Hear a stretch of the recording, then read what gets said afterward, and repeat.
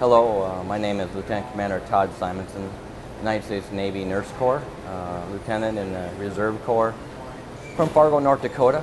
Um, these Pacific Partnership missions of, uh, this is my third one that I've been on and I tell you, uh, every time it's, it's a terrific experience. I think one of the things that instills in me uh, that I'm always impressed with is the human spirit of the people, whether it's in Indonesia, Philippines, Vietnam, or Cambodia.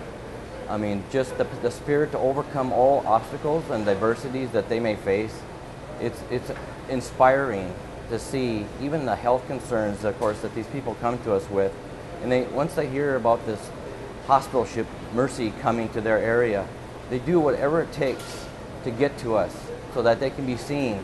And even if it's just a, a hug or a pat on the back and you know a, a letter explaining their situation and the condition that they that they have, um, we may not be able to do anything uh, for them uh, except maybe give them a prescription for some medication or maybe some eyeglasses to help them see better.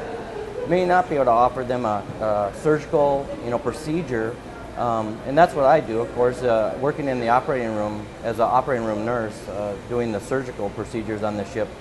But I tell you, it's just amazing to see even the little kids uh, coming around when we hold our surge caps, uh, den caps or med caps or even the vet caps, and we drink our water and we empty our bottles, those plastic bottles of water, and we put them out.